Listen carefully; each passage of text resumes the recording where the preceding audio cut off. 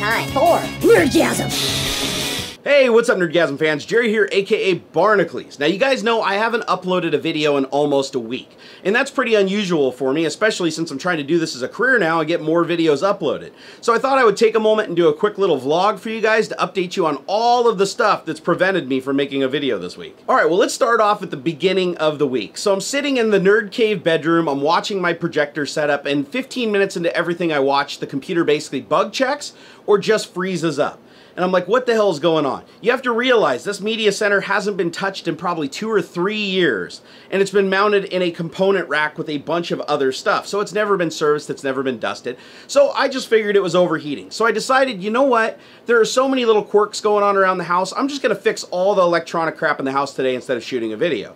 So I go pull the computer out, and if you guys follow me on Instagram, you see all of this unfolding live. I, I, take this computer apart, and it's literally just full of dust. I mean, it is packed full of dust. I couldn't believe it. I'm surprised the damn thing didn't catch fire. And the CPU heatsink was completely matted. No air was getting through it whatsoever. So I took it out, I blew it out with canned air, I vacuumed the whole system out, I cleaned it up really good. I take it back in, plug it in, and it's still locking up every 15 minutes. So I take it back out again, I tear it apart, I take off the heatsink, and I find that the thermal compound has basically been turned into like this cracked looking clay. Obviously it wasn't doing its job.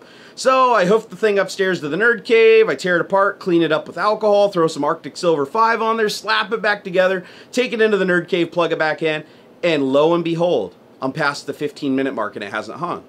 Now it's gone an hour and it hasn't hung. It's gone two hours and it hasn't hung boom, I'm feeling mighty because I just fixed a problem that was really, really easy and anybody should have been able to solve. But anyways, I fixed it and I was very, very proud of myself for doing that and it basically gave me a second win to just fix a bunch of other stuff. So the next target was the home network. I've been having massive problems with network outages on Wi-Fi and just general lag lag issues with my local area network. So I went ahead and tore out the old Netgear router that I had in place and replaced it with Linksys's super high-end 4 antenna gaming router and I replaced my old hub with a managed Cisco switch.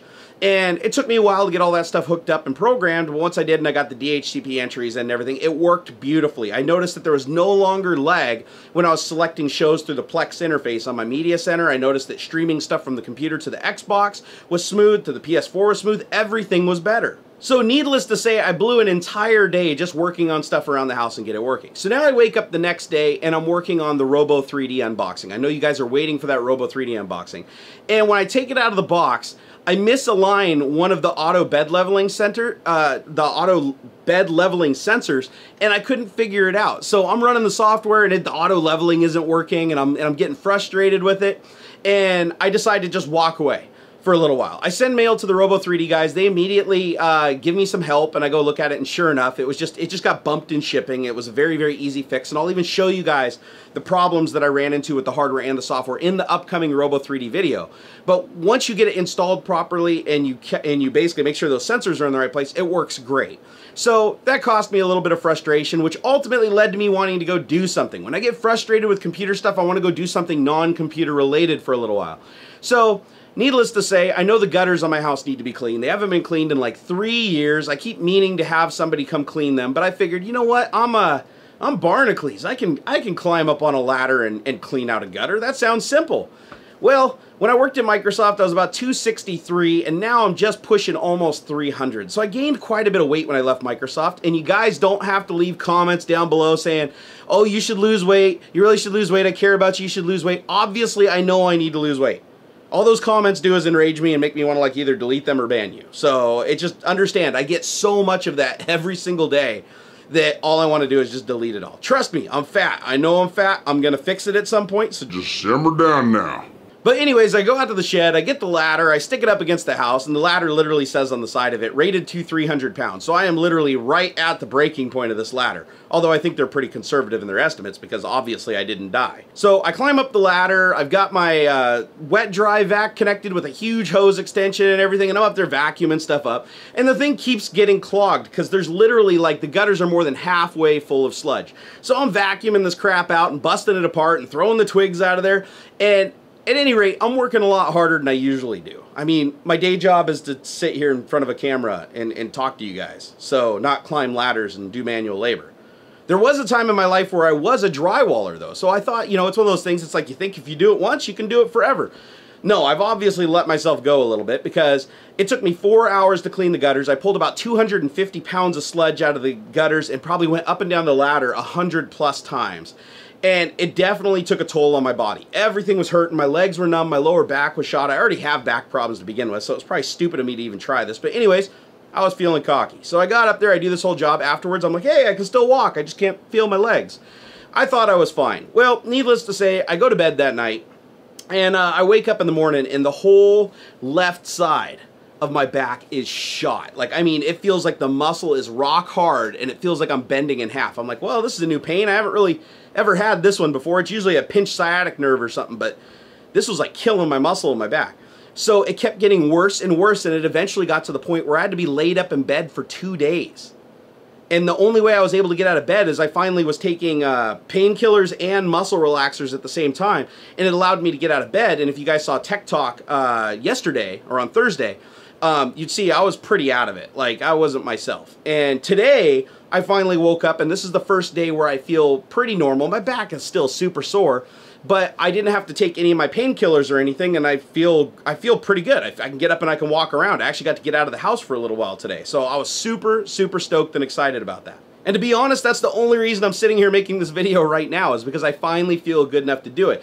You guys need to understand, I can't make a video when I'm not in a good mood or I'm all beat to hell and I'm hurting because obviously that's not going to be a fun video to watch. And it's going to be even less of a fun video to make. But needless to say, I feel like I'm back to my same old self, other than a little bit of pain that I still have in my back that hopefully will sort itself out in another good night of sleep um, I'm feeling pretty good. So it's time to get back to shooting videos again. And I also wanted to let you guys know about some of the upcoming stuff that's going on. I've been uh, doing a lot of stuff researching the tax code for sole proprietorships and LLCs and all these corporations and stuff to figure out what I have to do with Barnacules Nerdgasm to make it my full-time career. There's still some additional steps that I need to make to do that. And that is a lot of learning and a lot of red tape. So hang in there with me while I figure all that out. But some cool stuff is happening. Actually, this next Thursday, I fly out of Seattle to Chicago, and I'm going to Chicago to attend a super secret event that I can't tell you guys about. Well, I might be able to tell you about it afterwards, but can't tell you about it right now. And while I'm there, I'm going to be touring the Inventables.com facility. If you guys haven't checked out Inventables, go to Inventables.com. They sell literally everything that's electronics, breadboards, stepper motors, computerized CNC machines, 3D printers, materials.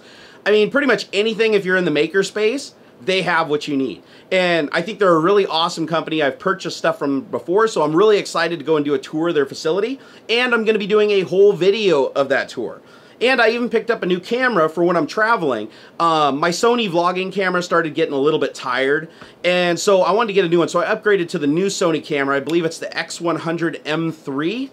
Uh, that sounds about right and and so it's basically Sony's like flagship top of the line point and shoot camera that fits in your pocket. So hopefully I'm going to get some amazing vlogging video for you guys while I'm in Chicago.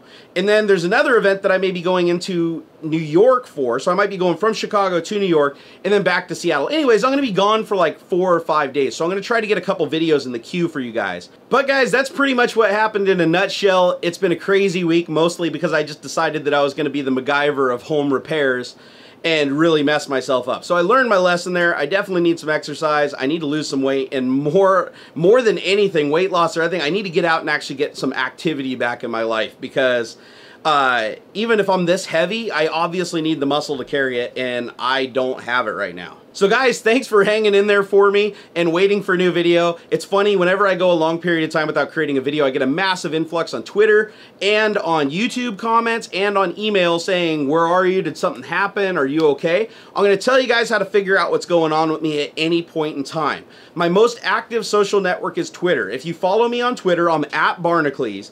And even when I'm laid up in bed drooling because of all the drugs that I have to be on for my screwed up back, I'm still on there just tweeting away. So you guys will have a general idea of what's going on. And a lot of you guys watching this video right now already know everything that happened because I Instagrammed it all. So if you go follow me on Instagram, I'm Barnacules on there also. Or you can come follow me on Facebook. I'm over on Facebook at Barnacules Nerdgasm. So there's all kinds of places you guys can see the real-time social feed of what's going on with me. So if you ever see uh, or rather don't see a video come out in the time that you think's allotted, go to one of those social networks and just see what's going on in my life. It'll it'll tell you a lot. All right, guys, I just want to thank you once again for all the support, and don't worry, Barnacules Nerdgasm is still going strong, and 2015 is going to be the biggest year ever. Ever.